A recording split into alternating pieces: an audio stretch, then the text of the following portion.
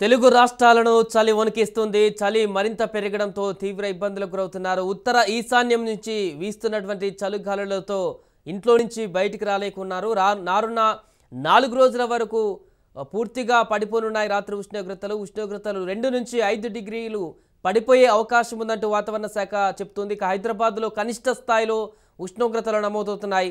ఆదిలాబాద్ ఆసిఫాబాద్ సిరిసిల్ల జగిత్యాల మహబూబాబాద్ జిల్లాల్లో అత్యల్ప ఉష్ణోగ్రతలను నమోదవుతున్నాయి. ఆరెంజ్ అలర్ట్ జారీ చేసింది వాతావరణ శాఖ. వృద్ధులు చిన్నారుల విషయంలో జాగ్రత్తలు వహించాలంటూ వైద్యులు సూచిస్తున్నారు. ఇక గజగజ వణికిపోతున్న ఏజెన్సీ ఏరియాలు లంబసింగిలో నాలుగు డిగ్రీలు నమోదు కాగా చింతపల్లిలో ఆరు డిగ్రీలు అరకులో ఐదు డిగ్రీల ఉష్ణోగ్రతలు నమోదవుతున్నాయి. దీనికి సంబంధించి పూర్తి వివరాలు తెలుసుకుందాం. మా ప్రతినిధి భరత్ ఫోన్లో సిద్ధంగా ఉన్నారు. భరత్ అరకు సమీపంలోని ఏజెన్సీ ప్రాంతాలు విశాఖపట్నంలో భారీగా ఉష్ణోగ్రతలు తగ్గుతున్నట్టుగా తెలుస్తుంది. పూర్తి వివరాలు ఏంటి వాతావరణ శాఖ అధికారులు ఏమంటున్నారు? ఏదైతే రెండు తెలుగు రాష్ట్రాల్లో కూడా గడిచిన నాలుగు రోజుల నుంచి ఒక్కసారిగా ఉష్ణోగ్రతలు పగటి ఉష్ణోగ్రతలతో పాటుగా రాత్రి ఉష్ణోగ్రతలు పడిపోయినటువంటి సిచ్యువేషన్ కనిపిస్తుంది. ముఖ్యంగా బంగాళాఖాతం సముద్రం నుంచి వస్తున్నటువంటి తీవ్ర చలిగాలుల ప్రభావంతో అయితే మాత్రం ఉష్- పగటి ఉష్ణోగ్రతలతో పాటుగా రాత్రి ఉష్ణోగ్రతలు తగ్గాయని వాతావరణ శాఖ అధికారులు అంచనా వేస్తున్నటువంటి సిచ్యువేషన్ కనిపిస్తుంది. ముఖ్యంగా మరొక నాలుగు రోజులు తర్వాత నాలుగు రోజుల తర్వాత ఇంకా పడిపోయేటటువంటి ప్రమాదం ఉందంటూ వాతావరణ శాఖ హెచ్చరికలు జారీ చేసింది. ముఖ్యంగా చూసుకుంటే ఇటు ఆంధ్రప్రదేశ్ సంబంధించినంత వరకు ఉత్తరాంధ్రకి ఇప్పటికే పగటిపూట ఉష్ణోగ్రతలు ఇరవై నాలుగు డిగ్రీలుగా నమోదవుతున్నటువంటి సిచ్యువేషన్ రాత్రికి వచ్చేసరికి పద్దెనిమిది నుంచి పదిహేను డిగ్రీలు మైదాన ప్రాంతాల్లో నమోదవుతున్నటువంటి పరిస్థితి కనిపిస్తుంది. మరొక నాలుగు రోజుల్లో ఇంకా తగ్గిపోయే అవకాశం ఉందని వాతావరణ శాఖ హెచ్చరికల నేపథ్యంలో ఒక్కసారిగా యంత్రాంగం అలర్ట్ అయినటువంటి సిచ్యువేషన్ కనిపిస్తుంది. ముఖ్యంగా రాత్రి సమయాల్లో మరింత తక్కువ వాతావరణం ఉష్ణోగ్రతలు నమోదయ్యే అవకాశం ఉందని వాతావరణ శాఖ హెచ్చరికలు జారీ చేసింది. ముఖ్యంగా ఏజెన్సీ విశాఖ మన్యానికి వచ్చేసరికి అయితే మాత్రం ఒక్క డిజిట్ కే మొత్తం ఉష్ణోగ్రతలు పడిపోయినటువంటి పరిస్థితి కనిపిస్తుంది. గడిచిన నాలుగు రోజుల వ్యవధిలోనే రెండు డిజిట్ల నుంచి సింగిల్ డిజిట్కి పడిపోయినటువంటి సిచ్యువేషన్.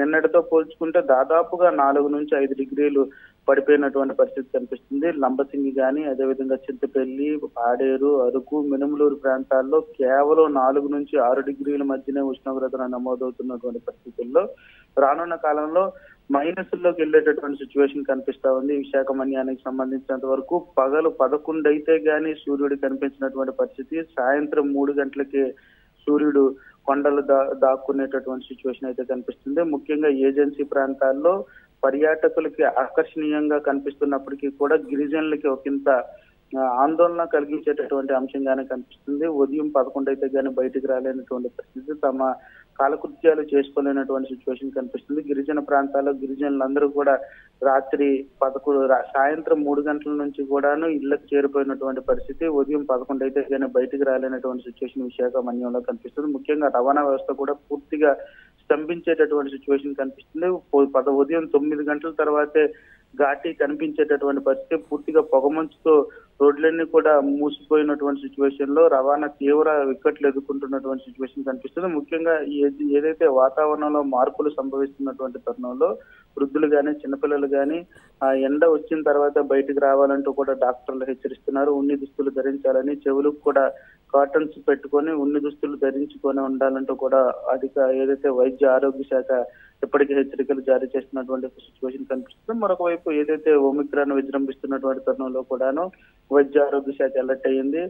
ఉదయం పదకొండు గంటల వరకు పదకొండు గంటలకే బయటికి రావాలంటూ కూడా విశాఖ ఏజెన్సీలు ఇప్పటికే ఆ వైద్య ఆరోగ్య శాఖ వృద్ధులకు కానీ చిన్నపిల్లలకు కానీ అలర్ట్ జారీ చేసినటువంటి సిచ్యువేషన్ కనిపిస్తుంది. మరింత తక్కువగా పడిపోయేటటువంటి పరిస్థితి కనిపిస్తుంది. ముఖ్యంగా లంబసింగి కానీ చింతపల్లి అదే విధంగా మినుములూరు అరకు ప్రాంతాల్లో మైనస్లోకి వెళ్ళేటటువంటి అవకాశం ఉందని వాతావరణ శాఖ హెచ్చరికలు జారీ చేసినటువంటి నేపథ్యంలో జిల్లా యంత్రాంగం కూడా దీనికి సంబంధించినంత వరకు సన్నద్ధమైనటువంటి సిచ్యువేషన్ కనిపిస్తుంది. ఇదంతా ఒకవైపు చూసుకుంటే ప్రకృతి అందాలకైతే మాత్రం విశాఖ మన్యం ఆహ్లాదకరంగా కనిపిస్తుంది. ప్రకృతి ప్రేమికులు అందరూ కూడా ఇప్పుడిప్పుడే మన్యం బాట పడుతున్నటువంటి సిచ్యువేషన్ ఏదైతే ఆ ప్రకృతి రమణీయతకి సంబంధించినంత వరకు కూడాను మేఘాలు పాల సముద్రంలా కనిపించేటటువంటి సిచ్యువేషన్లో పెద్ద ఎత్తున ప్రకృతి ప్రేమికులు మన్యం బాట పడుతున్నటువంటి సిచ్యువేషన్ అయితే విశాఖ మన్యంలో కనిపిస్తూ ఉంది Sai.